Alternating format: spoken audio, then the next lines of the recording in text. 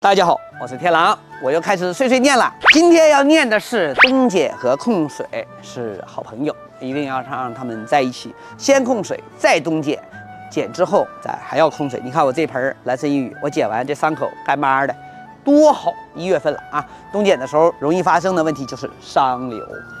那么像我们南方地区啊，月季休眠不是很彻底。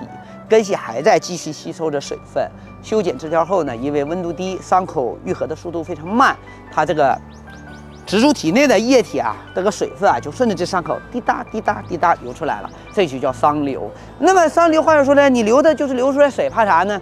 你要知道，植物体内这个水分啊，它养分都溶解在这个水里面，流掉了就是把植物体内储存的养分都流失掉了，非常影响明年春天的开花。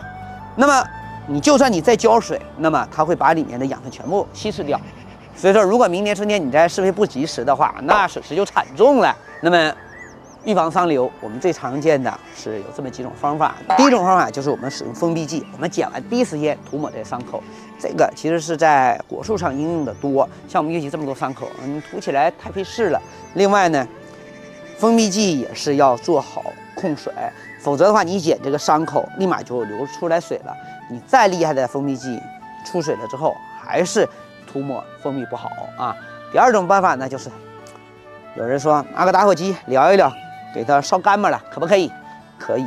这个像种水果的葡萄会这样，但是你没觉得效率太低吗？在农业上，我们只能说它是个办法，但它不是个好办法，因为工作效率太低，而且没有太大的实用性，所以说这也就不推荐了。那么推荐的。第三种办法呢，也就是最简单、最实用的，就是控制浇水、控水。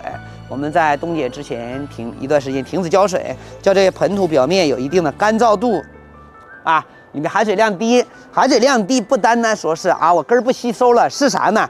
我们冬天的时候，我含水量低，我这个根系快速成熟、老化，毛细根快速死掉。毛细根死了，它不吸收水了，不吸收那么多了，它不就不流了吗？就这么简单点事儿，对不对？所以说。我们一定在冬剪之前，最好进了十一月份，浇水频率就降起来，然后加上日常经常下下霜。你看我这棵，剪完了一点水都没有流，为什么？因为我们在地里，我们也都控水啊，对吗？